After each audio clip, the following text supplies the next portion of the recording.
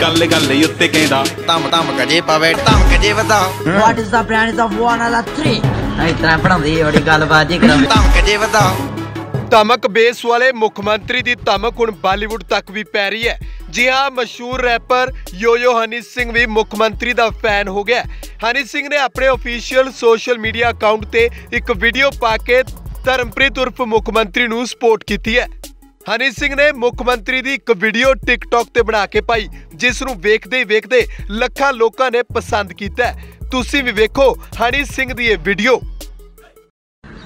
ਮੈਂ ਕਿਹਾ ਵੀਰੇ ਸਕੂਲੇ ਮੈਡਮ ਅੰਗਰੇਜ਼ੀ ਬੜੀ ਵਧੀਆ ਪੜਾਉਂਦੀ ਇਸ ਤਰ੍ਹਾਂ ਨਜ਼ਾਰਾ ਬੜਾ ਬੰਦੀ ਆ What is the one is the grand is the one of the three? What is the brand is the one of the three? ਇਸ ਤਰ੍ਹਾਂ ਪੜਾਉਂਦੀ ਬੜੀ ਗੱਲਬਾਤ ਜੀ ਕਰਾਉਂਦੀ ਕੀ ਬਾਤ ਹੈ ਮੈਂ ਕਿਹਾ ਵੀਰੇ ਸਕੂਲੇ ਮੈਡਮ ਅੰਗਰੇਜ਼ੀ ਬੜੀ ਵਧੀਆ ਪੜਾਉਂਦੀ ਇਸ ਤਰ੍ਹਾਂ ਨਜ਼ਾਰਾ ਬੜਾ ਬੰਦੀ ਆ। What is the one is the grand is the one of the three? What is the brand is the one of the three?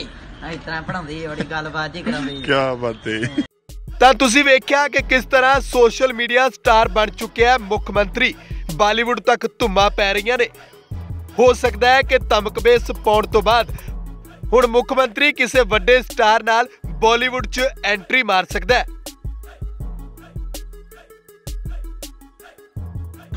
ਮੈਂ ਕਿਹਾ ਵੀਰੇ ਸਕੂਲੇ ਮੈਡਮ ਅੰਗਰੇਜ਼ੀ ਬੜੀ ਵਧੀਆ ਪੜਾਉਂਦੀ ਇਸ ਤਰ੍ਹਾਂ ਨਜ਼ਾਰਾ ਬੜਾ ਬੰਦੀ ਆ। What is the one is the grand is the one of the three? What is the brand is the one of the three?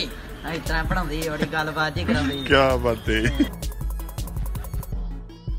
Bureau report D5 channel Punjabi.